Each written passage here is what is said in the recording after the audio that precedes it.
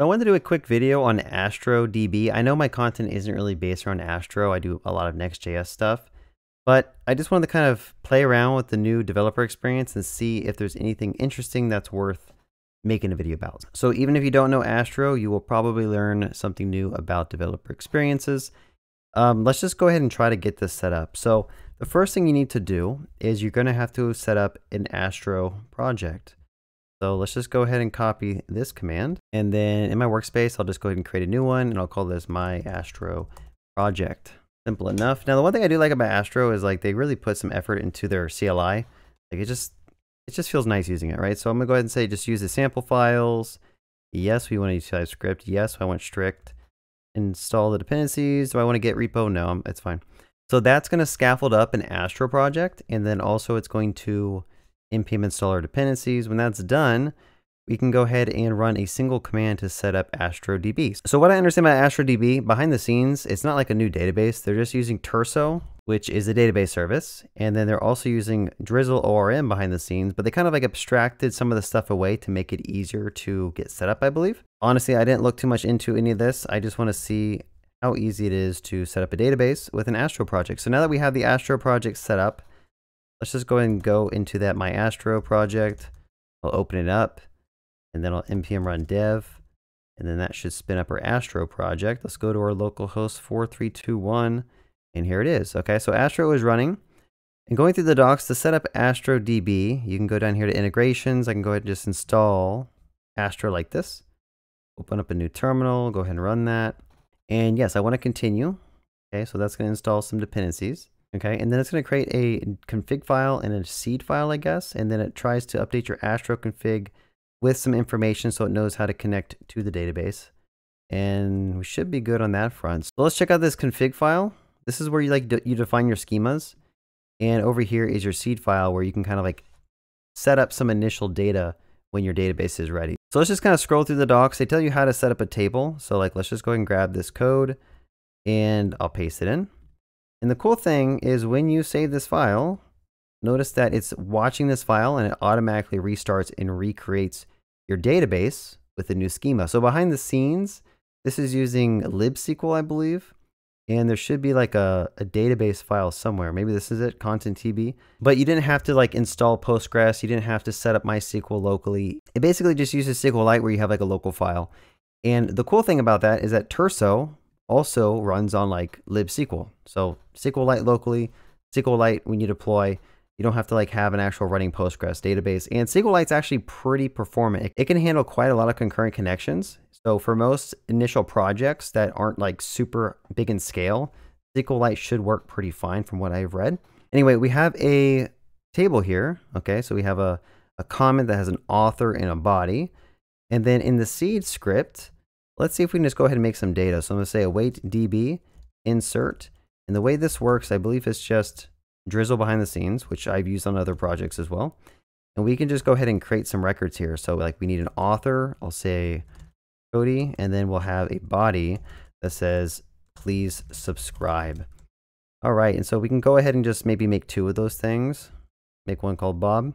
So now let's go back and try to read through here. So the first thing you want to do is we can display this data on our page. So I don't know too much about Astro syntax, so I'm just going to copy this and go to our Astro file over here. Let's say pages, go ahead and just overwrite all that. And this is how you do like server-side rendering. So it's going to fetch the comments when this route first loads. And then you have access to this variable down here in these curly braces. So I'm mapping over those, displaying the author, displaying the body. So if I were to save this and just refresh our page, notice that that data comes, comes through. So if you take a step back and like think about what just happened, we set up a project, we have it fully integrated with the database, we have it reading data from that database. The data is automatically reseeded when I change it. So for example, if I say Bob exclamation mark and press save, notice that the seed script is going to reseed the database. This page reloads. Pretty nice user experience. I'm not going to lie about that. So let's see if we can keep going down the tutorial. I believe they have one for inserting. So in Astro, if you want to insert, you could potentially just like, I don't know, make a post HTML element here. And instead of content, I'm going to name this body like that. And then when you do a post in Astro, I believe there's a way to like listen for it. So I'm going to go here and say if it's a post method, we can go ahead and insert a new record into our database. So here this needs to be body, that needs to be body, that needs to be body. Don't know why that's complaining. Oh, this needs to be body over here. Okay, so again, there's a form, has a author and a body input fields. It gets submitted. Astro checks for a post back. It says, hey, this is a post method. We can go ahead and insert the data that was sent in. And then we refetch the data from the database and that gets sent back to the UI. So now if we go back to our app, just go ahead and submit this. And it says, could not parse content as form data. Okay, I don't know what I'm doing wrong. Like, I'm just going to comment out everything. Like, you would think, like, I'm not even going to use the, the database stuff. Let's just comment all this out. I have a form that does a post to an endpoint. Why is this not working? Could not parse content as form data. Um, okay, I'm just completely lost. A project with SSR output server enabled. What does that even mean? Is that what it's saying to do? Well, that sucks. I wasted some time trying to figure that out, but I guess you have to enable server-side rendering by saying output server. Um, but that's probably just an Astro caveat I didn't understand, but I would think that the error message would be a little bit more descriptive when that happens. Anyway, after a little bit of debugging, this form submits this thing is inserted into the database. And this is pretty cool. So now let's go ahead and test out the Astro Studio. So like when you need to go to production, you have to take your local database schema, you need to push it somewhere.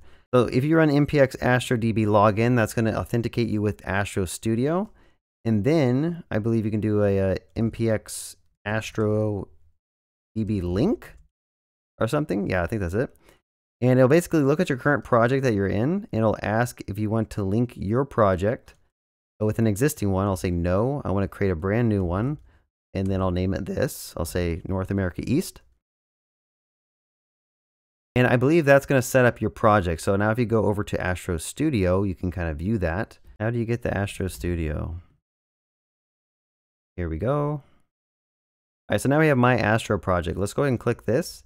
And right now there is no database. So what we can do is we can say npx astro db push, I believe.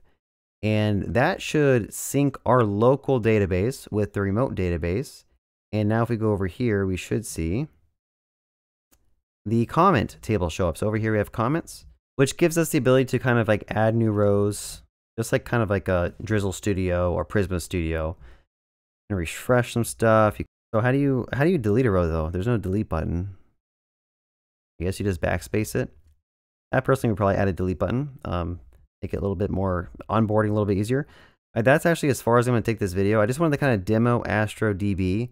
I think some of the concepts that they're doing are pretty cool. Like for example, you just save a seed file and it kind of re-initializes your whole database. Also, you go in here and you edit your config file and you save it, and that'll also reinitialize your database and reseed it. Now, I don't know how I feel about that because sometimes I'll be like playing around locally, I'll insert some data, and then I'm like, oh, I need to add something to the schema. And, then, and if that blows away all my data, I probably wouldn't be happy about that. So maybe there's a way to like disable that. But so overall, I think the uh, developer experience is pretty cool. I mean, it's very fast to get an Astro project set up and then add in this database feature. So definitely take some notes. I think this is a really good developer experience when it comes to how you could potentially interact with SQL on a brand new project. And I think there's going to be a lot of people who really enjoy using this because it's so easy to get set up. And I guess the nice thing in Astro Studio is they have a way for you to export all your SQL statements. And so if you ever need to get off of Astro DB or behind the scenes they're using Turso, this is how you do it. You just export your data and then you could just go ahead and do this, run this locally if you didn't want to use their service. Anyway, that's about it. So I hope you guys enjoyed watching this video. If you did, leave a comment, subscribe. Have a good day. Happy coding.